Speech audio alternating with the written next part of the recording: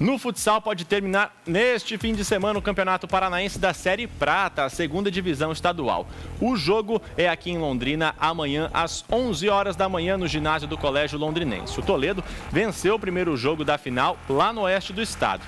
Se conseguir pelo menos um empate, o Toledo já leva o título. Se a Unifil vencer, leva a decisão do título para um terceiro jogo que será marcado também em Londrina por causa da melhor campanha da Unifil na fase de classificação. Vale lembrar que os dois times já estão garantidos na Série Ouro, a elite do futsal paranaense de 2016.